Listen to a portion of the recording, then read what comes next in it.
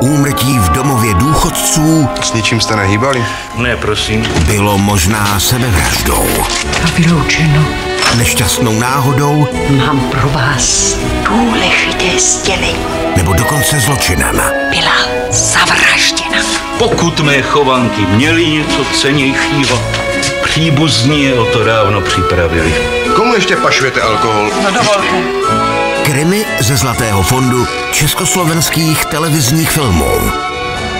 Jak chodí babičky spát v pátek v 18.00 na CS Filmu.